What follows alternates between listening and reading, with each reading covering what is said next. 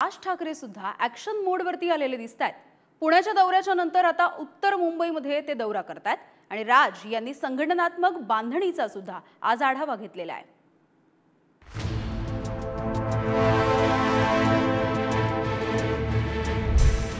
एकीकडे लोकसभेसाठी भाजपने पहिली यादी जाहीर केली. महाराष्ट्रापुरतं बोलायचं झालं तर महायुती आणि महाविकास आघाडीचं जागा वाटप अंतिम टप्प्यात आलं. तर दुसरीकडे भाजपने युतीचा प्रस्ताव वेटिंगवर ठेवल्यामुळे राज ठाकरेंच्या मनसेनं स्वतंत्ररित्या वेगळ्या मतदारसंघांचा आढावा घ्यायला सुरुवात केली.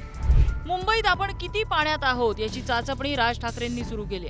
उत्तर मुंबईतल्या परिस्थितीचा आढावा घेण्यासाठी राज ठाकरेंनी दहिसर बोरिवली मागाठाणे कांदिवली पूर्व चारकोप मालाड या शाखांना भेट दिली. या मतदारसंघातील स्थानिक नागरिकांचे नेमके मुद्दे काय आहेत? इथे मनसेच्या इंजिनासाठी कोणता ट्रॅक बेस्ट ठरू शकतो याचा आढावा राज ठाकरेंकडून घेतला जातोय.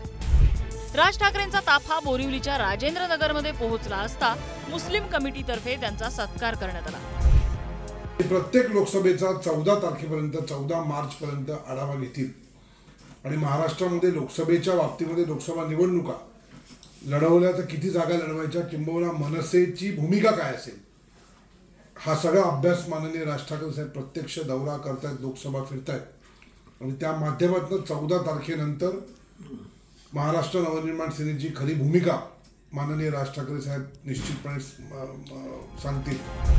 आता दोन हजार एकोणीसच्या लोकसभांवर सुद्धा एक नजर टाकूया. भाजपचे गोपाळ शेट्टी या भागात सात लाख सहा हजार सहाशे अठ्ठ्याहत्तर मतांसह विजयी झाले.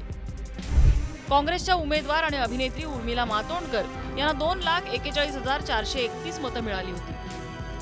उत्तर मुंबईतून मनसे रिंगणात उमेदवार उतरवणार की नाही या प्रश्नाचं उत्तर मनसेपेक्षा भाजपच्या भूमिकेवर अवलंबून आहे. कारण युतीसाठी मनसेनं पुढे केलेला हात आता दुखायला सुद्धा लागला असेल. भाजप आणि मनसे समविचारी पक्ष आहेत हे सिद्ध करण्यासाठी मनसेची जणू तपस्या सुरू आहे. आता महायुतीतले बॉस कोणत्या मुहूर्तावर प्रसन्न होणार? आणि राज ठाकरेंनी पुढे केलेल्या हातावर टाळी देणार का हे अजून स्पष्ट होत नाहीये. Ritesh हातेमसह bureau report Pudhari news Mumbai.